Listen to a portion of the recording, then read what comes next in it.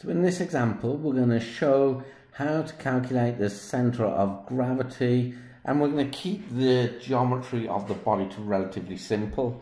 And for the example we have, we have two rectangular sections that are joined together to form a composite body. So we have section one and section two.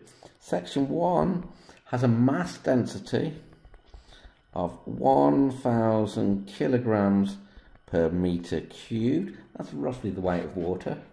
And section 2, rho 2 equals 3,000 kilograms per meter cubed. So for comparison purposes, the mass density of concrete would be 2,400 kilograms per meter cubed. So body 2 is heavier than concrete. Okay, let's put some dimensions on this body now. So we have that the height of body 1 is 4 meters and the height of body 2 is 2 meters and then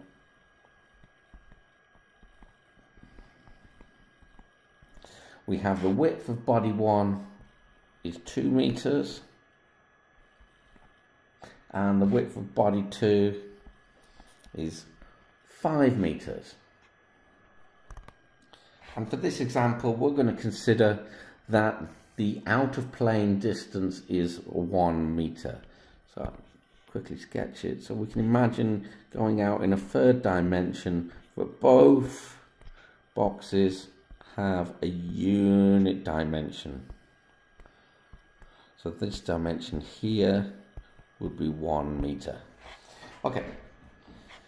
So what we want to do at the end of this example is find out where the equivalent weight of the composite structure is. So what the weight is and then where we would expect this weight to be acting. And for this example, we're just going to consider the distance x bar. So what we need to do to begin the example is calculate the weights that we have. So weight 1. And so to calculate a weight we have to have the mass density times the volume, which gives us mass, and times gravity, which then mass times gravity equals force.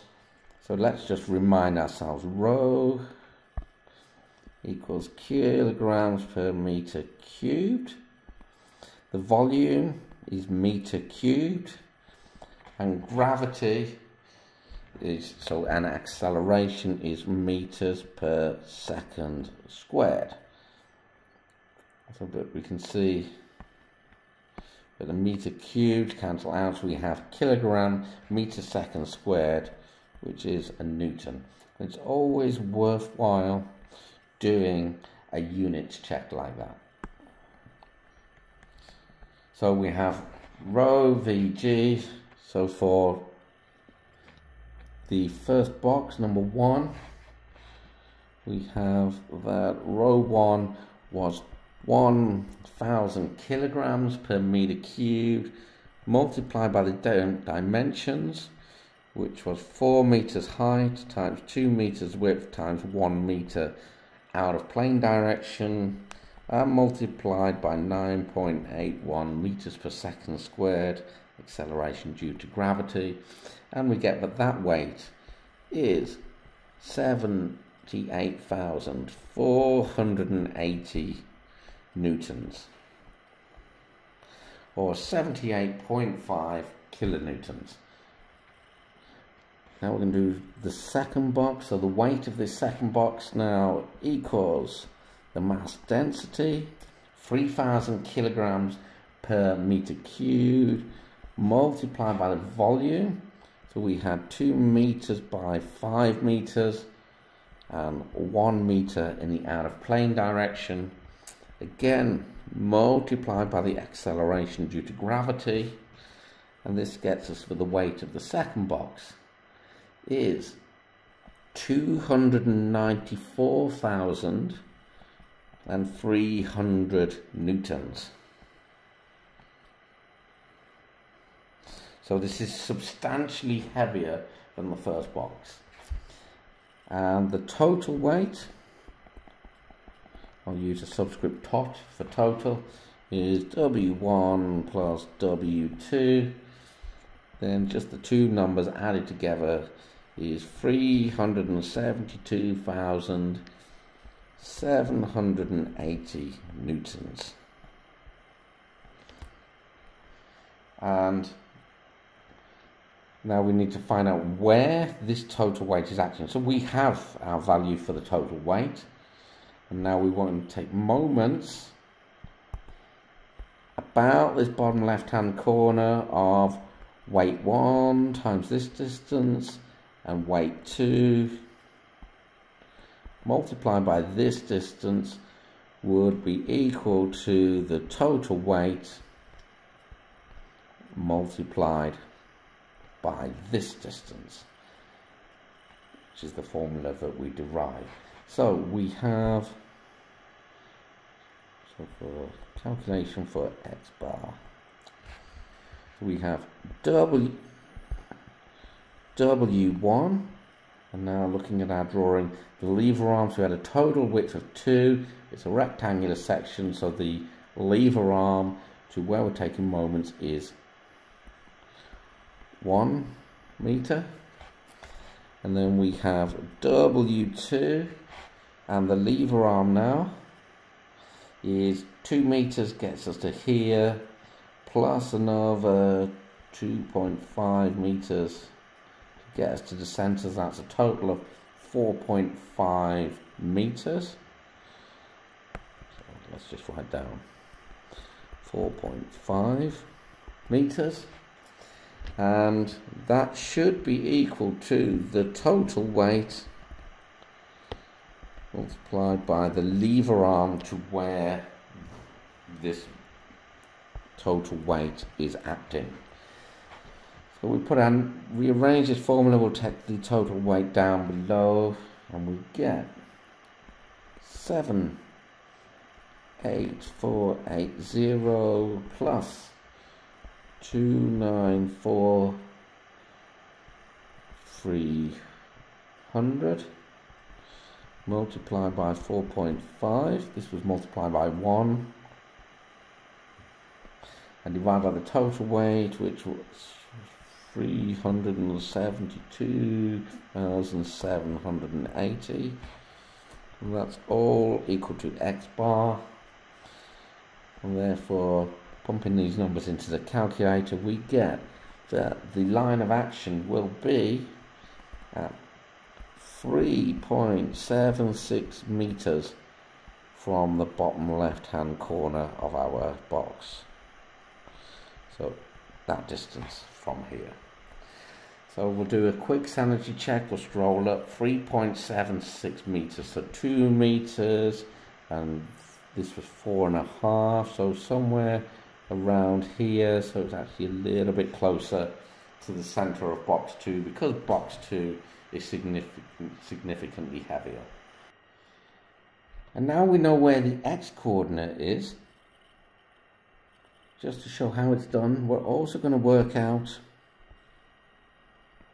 where our y coordinate would be and this is actually a really useful thing to know why is this useful so in many sports there are situations well in motorsports or in soccer football um, where having a low center of gravity is really useful for maintaining balance. So you can imagine if you went around a corner in a large lorry that had quite a large load in the back of the lorry that's quite high up, that would be really awkward cornering. Whereas if you're going around in a sports car where the engine and the weight of the person driving the sports car are low to the ground, then it's actually more nimble and more stable. So knowing this y distance, and we'll call it y bar, is actually really useful center of gravity calculation. So let's just remind ourselves of the dimensions. We had 4, 2, 5 and 2. So we had 4 meters, 2 meters, 5 meters and 2 meters.